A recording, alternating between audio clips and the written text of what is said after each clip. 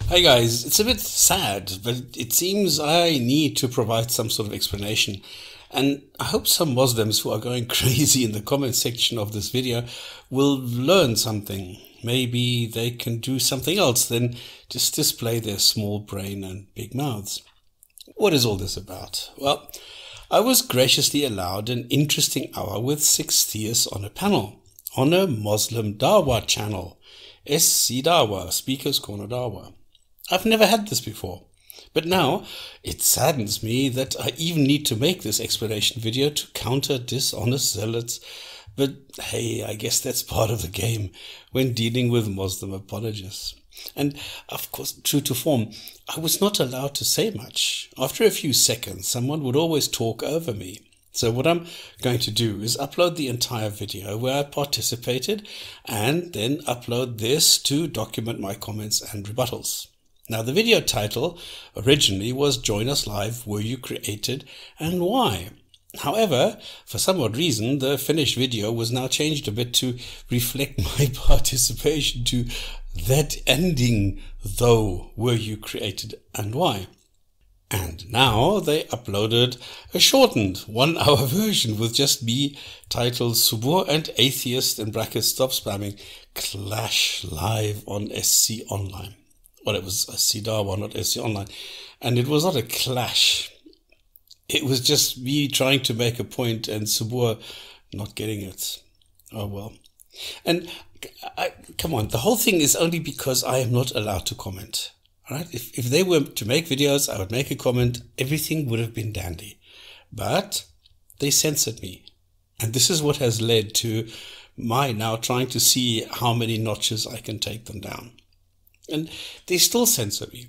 And I've used up most of my channel names and they're all blocked on SC Dawah due to the strict censorship, trying to protect their fragile brains from challenges and undue strain due to thinking. So my expectation of staying on longer than 30 seconds was rather low. Now, when, when they took me onto the panel, I quickly gave my 30 second comment on whether I was created and was expecting to be kicked out the way it normally works. But I wasn't. Hello, this was getting interesting.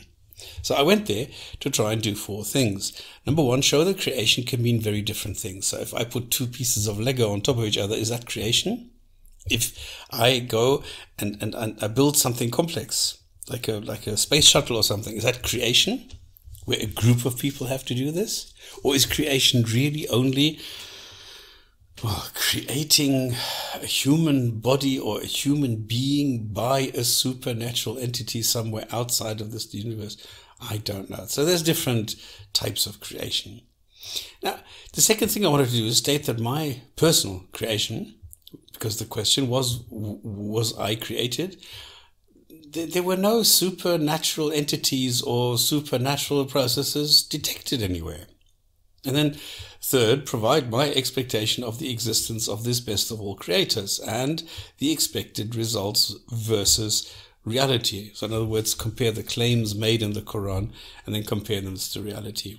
And then number four, assure that I was not manufactured like a toaster or to fulfill a function. Like I was not put into this world intentionally by my parents to be, you know, like a, I don't know, a pilot to fly them around the world. Now, I only managed the first three, more or less, and, and even this was chaotic. And I, come on, I'm, I need to be honest. I must admit, I could have done a lot better. As I failed in maintaining any momentum, I failed to maintain my authority and the serenity I had planned on initially. Why? Well, I realized, okay, there were, there were several factors here. So I realized that using Chrome suddenly changed the microphone to something like 20% and I had no way of changing it back like, on the fly. I had initially expected, you know, a stay of just a few seconds and did not bother setting up my normal microphone and used the wireless headset I normally use on, on the phone. So because I retreated into the defensive things when got hectic, I did not follow my line, but allowed myself to get sidetracked. And this gave the theists on the panel the opportunity to use their standard gotcha rhetoric. Not honest or correct, but effective if you have gullible fanboys. And that's also why we never even got to the fourth point. So, in all, it's actually my fault, and I could have done a lot better. And all right, better luck next time. But so let me unravel this a bit, and mostly for Muslims who automatically assume what was said by their fellow Muslims must be correct, even when it is not. One thing I need to point out in advance Subboor had watched my critique of his appearance in Speaker's Corner in his previous two videos. So he knew that I had embarrassed him and rebutted his claims and had demonstrated that he totally he's totally clueless and still plays as though he knows something about the topic. But now in the live chat, he pretended as though he had no idea what I was talking about. So my question in the last video was, is this Subboor really this stupid or is he just ignorant and deceptive? Well, we have an answer, a resounding yes. okay. So let me go chronologically and comment as I go along. So I, I, will take some snippets now, ignoring trivial parts and commenting only on the really egregious moments. And there's plenty. And so if, if you doubt something, you can see the entire encounter in the one hour long version of my interaction with them separately to show I am not tricking or quote mining anyone. The complete four hour video this is on the SC Dawah channel, also shows how Muslims can debate with Christians or polytheists or whatever, but they can't handle non-theists like me. They're totally lost. Okay, so I got there, hot and bothered, late, and as real life tends to interfere at times, still trying to sort out the microphone, actually thinking that it was working. And this is where I was then let onto the panel from backstage because nobody knew this Fred identity which I've had like 10 years ago, which YouTube now released from a lifetime ban. But of course, after wiping out all the videos. It's a pity, hundreds of them. Now, for some reason, my avatar does not show up on StreamYard. So the white round thing, this is me. This is what it would have looked like. And later on, because they kick me a couple of times and bring me back in, um, this suddenly StreamYard decides, okay, well, now I'm going to show it. I don't know how Fred, that works. Um, welcome to a show. I delivered my first two points and was expecting to be booted. Especially since I was told that I was the last caller and had to be quick because the show had already been running like three hours or something. But now, instead, Mansour deflected and brought up origin of existence, which in my eyes is sort of irrelevant here, since this was about me. Was I created, not the universe? Okay, but since everything in existence in the universe goes back to the origin of this universe, well, I answered the question anyway. Today, I don't think I would. I would keep it on topic and say, look, it's not about the universe, it's about me. Because Mansour again deflected, going to the standard Islam Dawah of absolute this and absolute that. And, and I noticed that I screwed up here as well because I was presented with a false dichotomy. Something and I didn't react. Now, either something existed always or something didn't exist at all. There's nothing, absolute nothingness. I didn't spot it, I didn't notice it. Because existed always or not at all. What I'm saying here is that the material everything in the universe consists of is the result of the universe, not a divine creation ex nihilo. But another option could be that something comes into being in the meantime or whatever. But what came to my mind at that time, all that my brain could think of, is The Time Loop by Dr. Richard Gott. I couldn't even remember his first name. Oh, that's embarrassing, actually. And this is where Subboor recognized my voice and realized who this was. At least that's what I picked up from his body language. So it was quite funny. Now, the, the, somewhat primitive and aggressive Tony was butting in all the time, making a case for the theory of evolution, but I'm not sure he realized this. I, I, I don't think he knew this is what he was doing in his eagerness to score a point here by addressing something I'd never claimed. I'm, I'm not sure he was even a Muslim, but he was just as helpless. I got frustrated with him, and I, I, okay, I called him an idiot because he was constantly butting in and making stupid points, and it, I was immediately kicked out. Like, you know, like someone had their finger hovering over the mouse button, just waiting to eject me, just looking for an excuse to get rid of me. These clowns are so hilarious, and, and they're so scared. I don't know why. And here, this is quite funny, Mansour unknowingly admits this is a very bad show. Oh, I'm sure there are other very bad shows where you can join and have your insults there. so I am graciously let in again, and they trip over over each other to now really show me. And okay, granted, my argument was not the best, and yeah, I could have done better, but I think it was good enough for this instance. And I started edging into my third item by pointing out that there was no evidence of any eternal supernatural entity or whatever. And this joker, Tony, then said he could easily provide evidence of his creator, but didn't. I don't know, maybe he has the guts to join us on the show and present it, but I don't know, somehow I doubt it. Now, Subboor starts off with a rather mundane rant, bar any contents worth considering. But after just a few seconds, he does the only thing that Subboor does, and that is quote mine and drop names of, of some or other you know, philosopher. Okay, to set the record straight. I don't shun or reject or hate or dismiss or whatever philosophy. There is a time and a place where it is not only important, but essential. But only bringing up names and only claiming you are quoting someone does not make sense in this environment. I have fact checked Subboor many times and I've realized and demonstrated that he misquotes, he misrepresents, and even when he doesn't, he misunderstands what is said.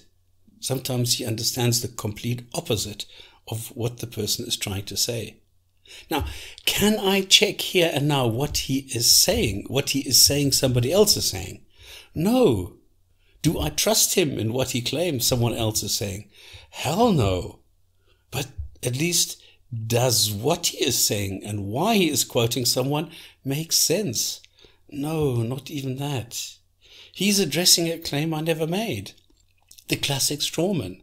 He waffles on and on without using his brain and can't understand that bad design that I am claiming is based on existing biological features, which I am comparing to other existing biological features, not perfect design.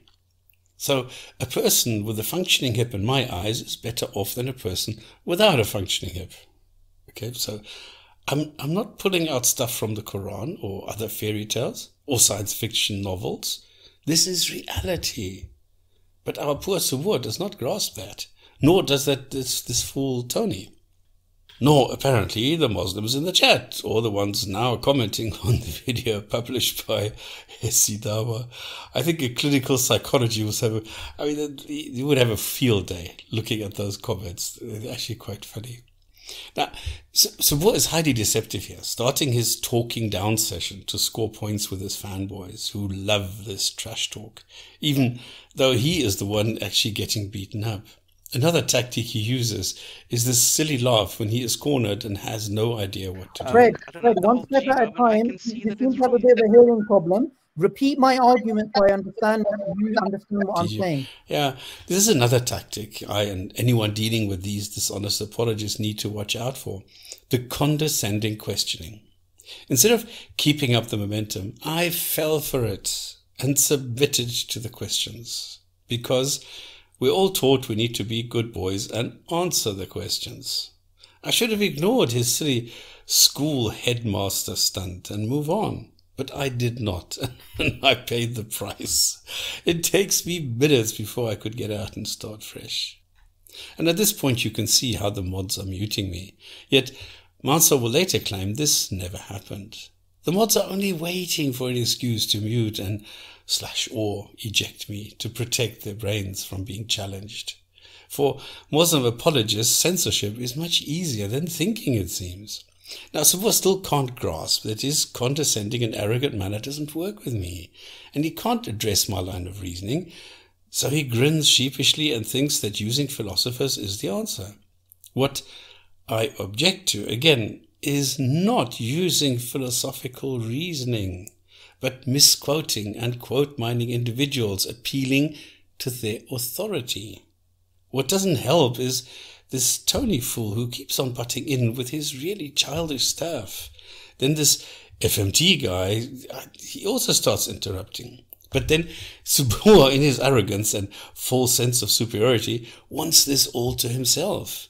But he's too much of a coward to come and talk to me directly. And he will admit to this at the end of the video. But he's trying to show off here and he fails over and over. He shows he's completely missed the point because I will make arguments all on my own without the help of anyone. Wait, hang on. Fred, your entire argument was philosophical and it was poor. Subboor is unable to do so and accuses me of making an argument he considers to be philosophical. But, okay, this is me and not me hiding behind someone and someone else saying something. This is me. And I'm not hiding behind uh, someone else some, saying something I don't even understand. Now, if this to him sounds like somebody else might have said it and that this is now philosophical, well, then so be it. This is not black magic or something. And I'm not acting or performing for anyone. I don't have anybody watching and I don't need to put on a show. He does. And his fanboys egg him on, not realizing he's not making sense and losing the argument. He has no evidence and calls that philosophical.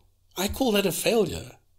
In his desperation, he turns to the Quran and quotes a sentence that has nothing to, to do with this at all. God says in the Quran, whoever He wills, He gives males. Whoever his He wills, conclusion is that it's the test of life, where his God has declared He has all knowledge. So a test is ludicrous, is superfluous, and it's nonsensical as the outcome is known and unchangeable. People are being, I don't know, created to be able to pass the test and fail. That means they were not created to be able to pass the test. And then they're punished for that bad creation. So from a logical point of view, this is a huge big fail. But he does not understand that I'm not appealing to, to anything logical. I'm not appealing to perfect design and is unable to adjust to what he is hearing. I'm merely pointing out that if I have people with functioning bodies and people who don't have functioning bodies, this does not match the claims made in the Quran regarding a perfect God and the best of all creators. I'm not expecting perfect creation. I'm just expecting adequate equipment to be created if this is some good creator. But we don't see that. So this is not about good or perfect design, but the claims that are being made. And at this stage, what have you published? Have you come up with anything sound? Have you come up with anything rigorous? You just turn up on a on a Saturday afternoon on a YouTube page with a stupid picture and you try and make some points and get refuted, right? It what? gets quite comical. He realizes he can't trap me using his usual dishonest tactics, so he needs to smear me intellectually to make me look bad in front of his audience, and at the same time appealing to authority. So we have multiple logical fallacies within just a few minutes. What is okay? This is actually quite sad, right? It, because this is I, I've schooled him for, for like ten years or so, and he still can't understand what a person is who simply does not believe that gods or goddesses exist. I am not supposed to be aligning myself with anyone. I'm not part of an ideological group. Why can't, why can't you treat me like a vegetarian and see whether your nonsense and dishonest tactics still make sense? Because then I'm sure anybody will see they don't. But Subboor keeps on telling me I can talk, and when I start just making some sense, even if it's just after a few seconds, he interrupts me. And I want to give you the mic to you, and I want to hear you talk more because the more you're talking, the more you're slipping up. okay. Uh, Brad. What I have done is I've taken your videos, I've looked at your arguments, I found that you don't have arguments. What you are doing is all you are doing is. Wait, wait, hang on. How, how can you say I don't have an argument? He opens up another false dichotomy and then does his silly laugh, knowing he is way out of his depth here. He is, is he's, he's borderline here with some compulsive disorder. Maybe he should have a professional check him out before he like completely goes over the edge. He, and before he goes radical, because he looks obsessed. He looks like I, I don't know. He, he he knows he's beat, and he still lashes out. And he knows I'm talking about my video rebuttals of last week. And yet he asks me to do this. Which book did I argue? Did I take the argument and misrepresent it? And come on, this is no longer normal. We can see here, if we scan Google Scholar, that this Rosenberg guy, who's a very bright guy, lots of reasonable stuff, he's got like 164 publications. And Subboor expects me to know a specific scholar, a specific philosopher, to know a specific sentence in one specific publication, as well as the context, as well as all refutations. This is pathetic. This is sick. Here is someone who thinks Rosenberg is wrong. And this is the crux of the problem. I can now pull out other philosophers who will say something and so can more. It becomes a pissing contest. Who has more philosophers on their side? Totally avoiding the actual point. And the same thing, by the way, is the problem in discussing Islam, where people will get into a scholar competition. It's useless and a waste of time, as was demonstrated here once again. But Subboor has nothing else to offer, and he must deflect somehow. And I think that the guys on the top row here should have realized something is seriously going wrong here for Islam apologetics and rope him in. But maybe, maybe also they don't realize this and are blinded by the polemics this Subboor is firing off. I am off. giving you my opinion, and if you and your opinion doesn't count because you haven't published any papers, you haven't done any research, and you have no idea what you're talking about. No. And, and, now this Tony guy chimes in again and wants to offload his stuff and starts babbling about biogenesis. Number one, you want facts, right, Fred? Do you know? Do you know that life only comes from life? We have never seen life coming from non-life. Number one, that's a fact. It's like a child you know, with a with a big mouth. Okay, so what takes over, and again doesn't understand and thinks he needs to offload his nonsense once again. Do I really need to explain this? The statement is that life originating from non-life has not been observed. Okay, to which I replied that there was a time when only white swans were observed saying, Do I really need to explain? Oh God, this is embarrassing. At some stage, if you observe only white swans, you need to state that at the moment we are seeing white swans. So, out of the population of 100 swans that we have seen, 100 of them were white. And that is all you can say. And then along comes a black one. And this changes everything. This now becomes out of the population of 101 swans, 100 were white and one was black. Right? So that's how easy it is. Now, the same thing is true. Life originating from non-life has not been observed until one day you do. And then this changes things. Now, what are you going to do? Now, all of a sudden, we have a natural explanation for the origin of life. At the moment we have origin of universe, life, and consciousness as the three areas where we really have no clue. There's others, okay? There's other places where we don't have the information, and there's there's other things where we don't even know that we don't know them.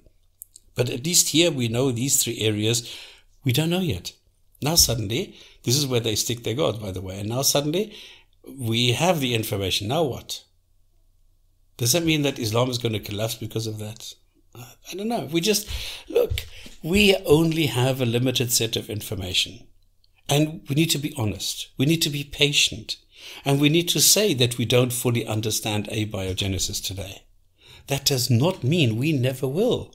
Instead of taking on this rather trivial bit of reasoning, Subboor can't, can't even grasp this, this, you know, this is so easy. And again makes wild assertions and accusations, demonstrating his limited intellectual processing capability. Now, saying there is insufficient information regarding the origin of life is not faith. I don't know where he gets this from. My goodness why does nobody teach them rational and logical thinking, but just, just the basics? And then this Tony again, not exactly displaying any grown up line of reasoning. Uh, please note, I answer extremely succinctly using yes and no, answering the questions, something I've been accused of not doing. Oh boy. Okay, when I show him that he's wrong, he simply starts shouting something about the law of biogenesis. Right. I have reality. This is not a side reality. And, and in reality, all we see is life coming from life. That's a fact. Oh my God, yes, that's a fact. Yeah, it's called the law of biogenesis. what a douchebag. And Mansour once again shows his ignorance of what a logical fallacy is. I've noticed that Muslim apologists think that assigning a derogatory term or a, a derogatory attribute to a person is an ad hominem. And something they don't like, they title a strawman. oblivious of what these expressions really describe. Does, so Woermann makes a complete fool of himself. He first launches yet another appeal to authority, constantly repeats he has not interrupted me when that is precisely what he's done for half an hour now. He really, and really, he asks me to verify his position. I now, give me one philosophical paper, one philosopher who's willing to acknowledge your position and that crude reality which you're trying to point at by bringing up a name, something I have declared I detest, and that is cowardly as well as useless. Something he doesn't understand, even if I were to do what he is asking me to do. But he is incapable of making a single cogent argument, and turns to me to do this for him. Man, this is ridiculous. And again he says, I'm going to give you the mic for the next one minute this ends after just a few seconds when Subboor once again talks over me. He repeats for the 658th time that I have no evidence for a claim I did not make. So if they can't find anything to back up their nonsense, they fabricate something and tell me it's my fault. this is hilarious. But actually quite sad if you think about it. These little apologists need their God so much they are willing to sacrifice not only honesty, integrity, authenticity, and all ethics, but on top of that, lie and deceive to mislead their own audience. I know that I did not. I was not created by a supernatural. You know what? This is, That's this what I said. really poor marketing. Yeah, this is this is. Am I really contradicting myself? No, I'm not. All I said was that I am the result of two cells merging, and that the claim of a designer slash creator is refuted by reality. I also stated unequivocally that if they want to appeal to an incompetent designer, they are welcome to do so. So, no changing of claims. It seems they have a huge problem understanding and processing what is not pre-chewed by Islamic scholars, having been taught what to think and not how to think. Right now, it's not going to make me go to your YouTube page because right now you're not making any sense. Tough luck. He can't keep quiet about it and constantly needs to babble, but he says not going to my page, which he has done. And that, for some odd reason, that is a contradiction. Now, FMT in his closing remark claims something. You're here to this because, Fred, in all honesty with you, you were very self contradicting. You kept claiming to have evidence. When we got into it, you would say, I don't know. Um, you saying philosophy is bad and all that, and you is he crazy? Did he really hear me say this? I did not. I objected to name dropping and appeals to authority. I said that you can't continuously use philosophers and philosophy as a sole line of argumentation. At some stage, you need to have the rubber hit the road. He claims that there are good reasons to accept a creator, but then why doesn't he bring them up? Why hide behind philosophers instead of just presenting the evidence if it is really that compelling. And here, Subboor even interrupts his own panel member, like a little excited boy who has heard something he can finally comprehend because it is the theist language he is familiar with and can switch off his brain. When, when he gets really obnoxious and I react, I'm kicked out yet again and let on. And the exchange now gets silly. Listen, listen to this short exchange. It was about my claim why I reject an intelligent, merciful, perfect creator using a hip deficiency as an example. And you're committing the fallacy of basically linking a point which is completely irrelevant, which somehow looks like it's relevant. It's a non sequitur. So you're saying a person with a broken hip is in a worse position than a person with a functioning hip. That has nothing to do with what we're talking about right now. Okay, that is my argument. And it doesn't make any sense. It does not make any sense to him that a person with a functioning hip is better off than a person with a non functioning, a broken hip?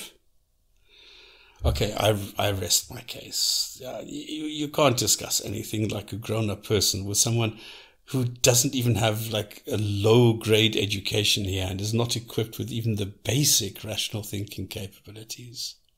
These Ira Dawa guys are a complete waste of time. And I, Mansour must have been smoking something to look that spaced out. Hashim just sulks all the time, and the guy in the middle doesn't seem to know what's happening. But I had a bit of fun and was entertained for an hour, even if the level is not what I would expect from an adult person. But then again, my own performance was also below par, and I freely admit this. Hashim, in his closing statement, makes a really odd observation, telling me that I was the one who moved to a bad designer which is not the case. And then you shifted to a bad designer. I just asked what kind of a designer this is if the body is in a bad shape when Tony claimed he was clearly designed. Hashim asked me nonsensical questions about the future, huh? And is clearly confused about the way epistemology works and how the tool of science is used to form conclusions. Dear Hashim, this is exclusively for you. I have created all flies, mosquitoes, and gnats on this planet. Okay, now what? Will you ask me for evidence of this claim or not? If this silly claim can be identified as silly by you, how come you can't do the same when it is claimed by some supernatural, undetectable, super duper being that can't even write a halfway intelligible and logically sound book? He also rides off into the philosophical questions and that can't possibly be answered in an environment such as this because the topic of nothing covers a vast amount of options and definitions. And, well, non existence cannot come into existence, really. The Quran begs to differ because it says we created him out of nothing. And literally, it says not anything, the, the Shayan. So, okay, and then I catch Mansour applying one of his standard deception tactics.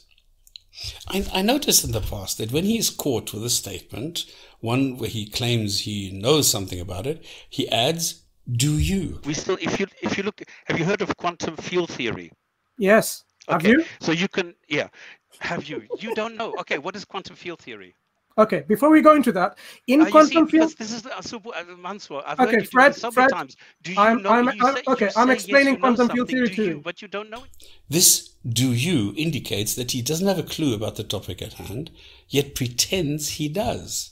So I take him to task and show that he was just bullshitting and lying, simply pretending he has heard this before when he has not. It's just part of the show for his audience.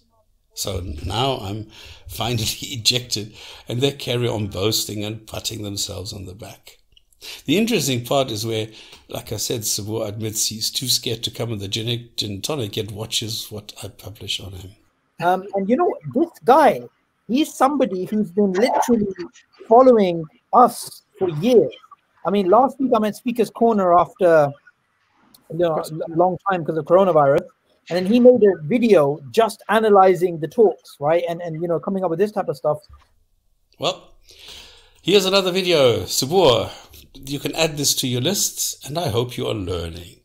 After years of leaving you alone due to your inactivity you are once again making silly claims which require a robust response hence my videos you really delivered a piss poor performance on this SC Dawah episode. I doubt the others have the mental capacity to expand their horizon and to somehow rope you in. So you guys constantly throw around words like sophistry, fallacious, deceptive, illogical, ignorant, yet never once think about a self check to see if you are guilty of exactly that. But come on, if you have the guts, which I sincerely doubt, you will take up the offer and come over for a chat on a Friday evening on the Jinn and Tonic Show. You're more than welcome. See you in the next video. Bye.